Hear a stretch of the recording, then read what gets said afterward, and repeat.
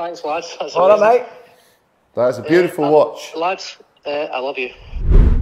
Dax Balfour. That is a name. Hello? Hello, is that Dax Balfour Yeah? from Rossendale? Yes? How you doing? It's Robbie and Trish from RevComps. How are we doing, Dax?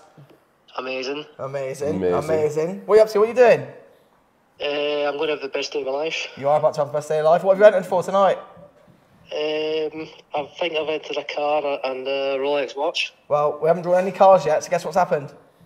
I want to watch. You want to watch? Trish, um, Dax, you have won the brand new 2023 Rolex GMT Master 2 Rolesor. Rolesor. Well done. Well done! Woo, woo, woo, woo.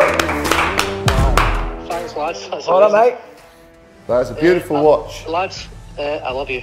I love you Well, too. we love He's you a true too. Revan, He mate. is, He's a true keen. Revan.